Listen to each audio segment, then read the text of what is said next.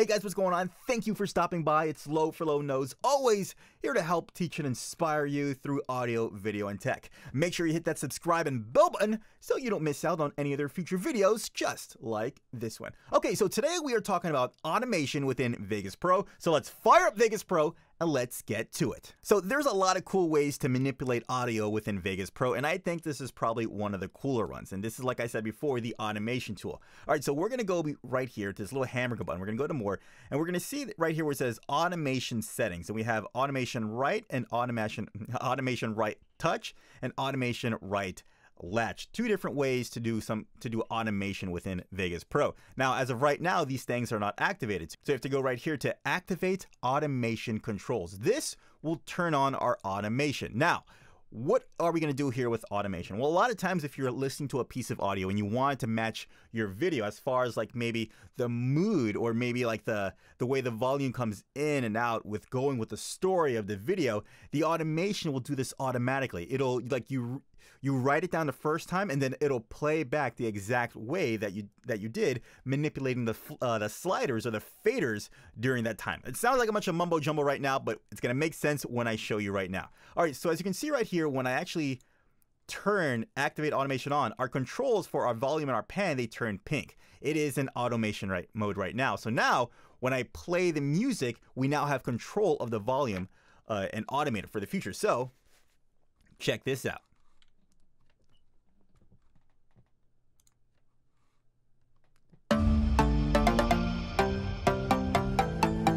Okay, so as it's playing, I'm gonna bring this down and we'll bring the volume down. We already know that. And you can see right here at the bottom, we've got these keyframes popping up right now, showing that it's actually, the volume has actually been dropped. We're animating the volume of the, of the audio.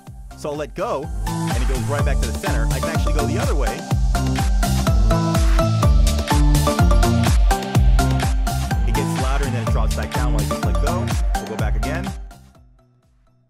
Basically nothing. We can see that the animation, the keyframes is bringing the volume all the way down.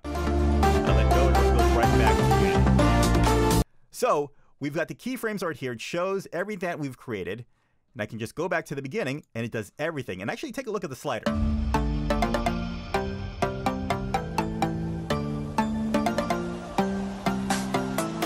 Oh my god, there's a ghost!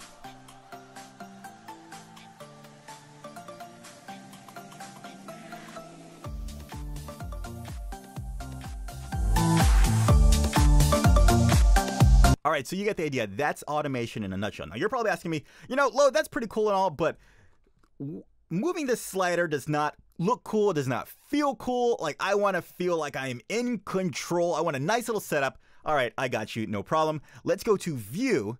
We're going to go to Windows, and we're going to look for, where are you? Our mixing console. This is going to bring up a lot cooler setting for us to work with. We can open this up a bit. We can zoom in just a little more. Let's let's go all the way. All right, and here we go. This is audio number one. This is our track one, track one, just like this here. Okay, and you can see we still have our touch. When we go to automation, you see how it's on touch right now and latch. We have these same options right here, touch and latch, and we can do the same thing from this dialog window, but just bringing this up and down. You can see it moving right there. So let's jump to this position, and we'll play it again.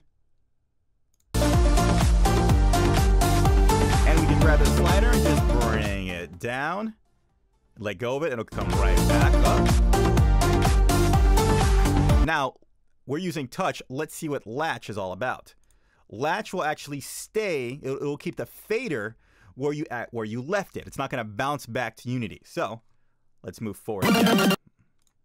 Press play. And let's bring it down. And it'll stay right there. And let's just say we're, we're, there's something in our video where something is about to get exciting. We want the video to slowly go, we want the audio to slowly climb up. We'll just drag this fader slowly going along with the video. We have extra minute control over this.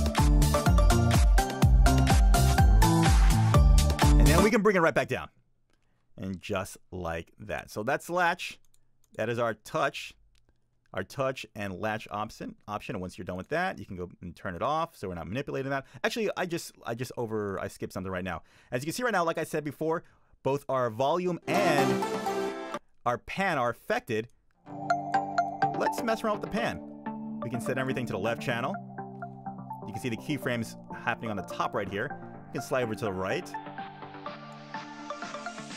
So that becomes super useful if let's say you, say you had like a sound effect such as like a car passing by, a plane passing by, or someone running, or something that would you that you would normally want to have the effect from going from the left channel to the right channel, or the right channel, or vice versa. Or if maybe you want to do some kind of like little stutter, like do do do do do, you could do that like by yourself. So, th- so this is not the way to manipulate audio, but it's just another way, a, another creative way to manipulate the audio within Vegas Pro. I really hope it helped you out, guys. Just remember, take what I've given you today and apply it to your own projects, okay? You're not going to get better. You're not going to really get a great understanding just by watching this video. You got to apply it to your products, so go, not to your products, your projects. So if you want this video up while you're doing your stuff just to have sort of like a refresher, you can do that. Or make sure, guys, if you want to really get comfortable within your editing editing environments, practice practice what I'm showing you. All right, guys? Okay, well, if you like this video, go ahead and leave a like. If you loved it, feel free to subscribe. As always, leave a comment down below if you have any questions about doing automation within